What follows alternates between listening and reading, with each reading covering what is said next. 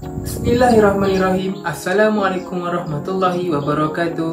Dan salam sejahtera saya ucapkan kepada penonton sekalian Yang dihormati Encik Muhammad Fawis bin Bakri Selaku pensyarah subjek wacana Akademik Bahasa Melayu.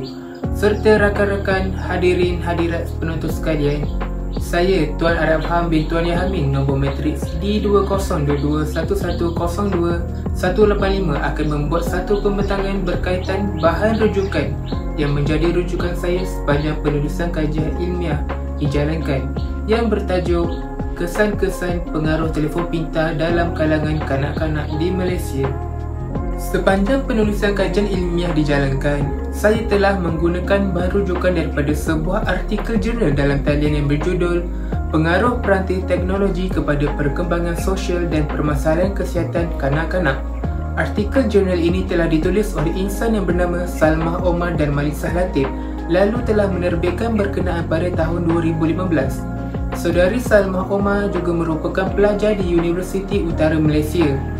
Artikel jurnal ini juga mempunyai bilangan muka surat iaitu sebanyak 12 muka surat dan terbagi kepada pengenalan, kajian-kajian lepas, pengaruh peranti teknologi dari sudut positif dan negatif, kaedah membendung permasalahan dan kesimpulan. Baiklah, artikel ini berkaitan dengan pengaruh peranti teknologi kepada perkembangan kanak-kanak. Dalam artikel ini juga ada menerangkan definisi dan aplikasi peranti teknologi seperti televisyen, telefon pintar, komputer, internet dan sebagainya. Bukan itu sahaja, artikel ini juga menerangkan berkenaan kesan positif dan kesan negatif pengaruh teknologi. Sebagai contoh, kesan positif pengaruh teknologi adalah proses pembelajaran dapat ditingkatkan membentuk semangat berpasukan, meningkatkan kemahiran inovatif dan pemikiran kreatif dalam golongan kanak-kanak.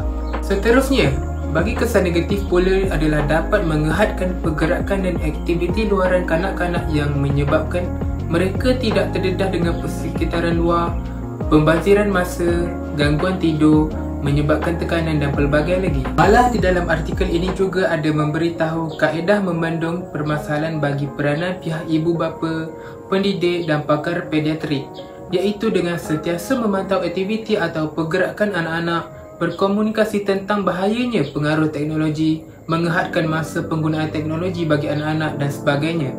Oleh itu, terdapat banyak keburukan dan kesan negatif pengaruh teknologi sekiranya kita tidak membendungnya daripada awal. Kesimpulannya, bahan rujukan yang setelah saya guna banyak membantu saya dalam menyempurnakan kerja khusus bagi subjek wacana akademik bahasa Melayu. Akhir kata, saya mendoakan kesejahteraan buat rakan-rakan seperjuangan saya dan juga Encik Fawis kerana sentiasa membantu dalam menyiapkan tugasan yang diberi. Supaya dengan subjek ini, pelajar dapat menerapkan ilmu-ilmu yang diberi bagi memajukan lagi pendidikan di Malaysia. Sekian, terima kasih.